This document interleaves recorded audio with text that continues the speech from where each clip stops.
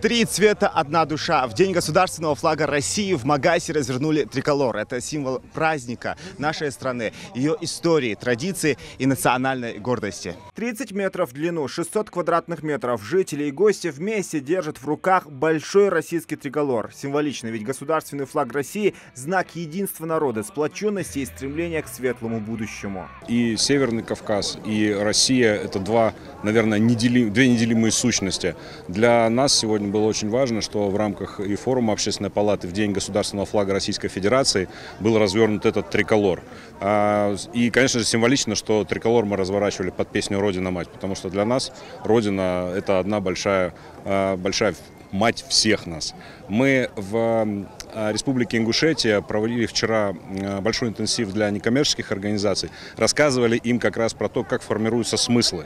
И сегодня вот один из смыслов, реализацию одного из этих смыслов мы с вами увидели. То, как флаг Российской Федерации, большой, мощный, тяжелый, который надувается ветром, собирает вокруг себя не только аксакалов в попахах, но и молодежь, самых маленьких ребят из юнармии. В региональной акции, посвященной знаменательной для нашей страны даты, принимает участие глава Ингушетии. Махмуд Али Калиматов поздравил жителей с Днем государственного флага России, отметив, что российский триколор является важнейшей основой и гордостью для всех народов многонациональной Родины. Не оказались, учились и трудились в любой точке земного шара российский флаг – главный маяк для каждого из нас. Он всегда напоминает мировому сообществу, что существует и успешно развивается государство, которое никто никогда не побеждал и не победит. Для жителей Республики Ингушетия это знак беззаветного патриотизма, любви к родине, Отечеству, гражданской ответственности, гордости за несокрушимое российское государство. Российский флаг вдохновляет нас добиваться новых успехов, побед во всех созидательных видах человеческой деятельности. Сегодня российский триколор развивается над доблестными войнами вооруженных сил России в зоне проведения специальной военной операции. Наш флаг – символ свободы, справедливости и безопасности. Пусть во всех времена под российским флагом живет и цветет и крепнет наша родная Ингушетия и великая Россия. Желаю всем моим землякам и соотечественникам мира, благополучия, благоденствия, и счастья. День российского флага – праздник настоящих патриотов своей страны, всех, кто гордится ее историей и честно трудится во благо державы. В мероприятии также принял участие и Герой России, первый заместитель секретаря Общественной палаты страны Вячеслав Бочаров. Сегодня, 22 августа, в День государственного флага России, мы собрались здесь, в столице Ингушетии, Магаз, для того, чтобы продемонстрировать свое единение, верность нашему флагу, а через него и верность нашему Отечеству, нашей Родине, Российской Федерации. Российский триколор объединяет всех общим стремлением видеть нашу страну сильным, свободным и процветающим государством.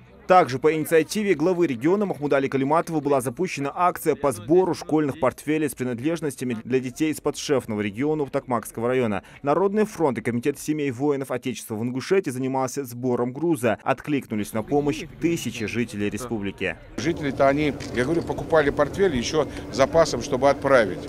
Но у нас еще подключилось и правительство, и депутаты, и сенаторы к этому. Понимаете, мы постоянной основе, это не только вот груз. До этого только то ушло, тоже туда рефрижератор ушел, мы туда направили. Поэтому сегодня я хотел бы сказать, во-первых, спасибо Народному фронту, всем жителям спасибо сказать. Вы поймите, чужой беды нет, чужой беды нет. Но у нас приобретены и нашим э, членам семьи, детям СВО э, около трех тысяч. Тоже для наших здесь ребят – которые дети, которые пойдут в школы. Акция оказалась масштабной. Первыми к ней подключились юнармейцы. Они прям и раскраски, э, тетради принесли, и бумагу принесли. Ну, дети же любят э, и пластилин, все. Они знают, что нужно лучше взять. Вот руководствовались их вкусом и взяты хорошие рюкзаки, хорошие, наполненные какие-то организации приносили уже готовые рюкзаки, кто-то приносил просто рюкзак, кто-то набор первоклассника. То есть вот эта вся помощь, она заполонила всю нашу комнату огромную, да. Ингушетии и Токмакскому району по поручению главы региона оказывается всевозможная помощь и поддержка. Я хочу от имени всех запорожцев, не только жителей Токмакского района и Токмака, а я напомню, Токмак – это город, который находится на передовой русского мира, сегодня на передовой, ну, до такой степени на передовой, что по нему чуть ли не ежедневно осуществляются обстрелы из ракетных систем залпового огня, из ствольной артиллерии, бьют ударные беспилотники и так далее. То есть боевики ВСУ постоянно наносят удары по этому городу. Но тем не менее мирная жизнь продолжается, э, дети э, собираются, идут в школы, и эта помощь очень важна. Она важна даже не с точки зрения ценности материальной, а с точки зрения формулы «русский русскому помоги». Потому что все мы русские люди, да, независимо от своего происхождения. То есть русский человек ингушского происхождения, русский человек, там, я не знаю, аварского происхождения, какого угодно. Потому что Россия – это наша большая родина, и вот это взаимодействие, вот эта рука помощи, она очень важна и необходима. Большое вам спасибо, да, большое спасибо за славных сынов ингушского народа, которые воюют в составе 58-й армии Южного военного округа. Со многими из них я лично знаком и, пользуясь случаем, пожалуйста, пусть обращаются, потому что наша комиссия по защите суверенитета патриотическим проектам и вопросам ветеранов как раз и касается вопросов ветеранов, вот этих молодых ребят, которые уже сегодня носят это звание. Республика и дальше будет оказывать помощь и поддержку новым регионам России. Отправка груза со школьными принадлежностями далеко не последний подарок от Ингушетии. Зелимхан Калоев, Сулейман Костоев, Магаз 24.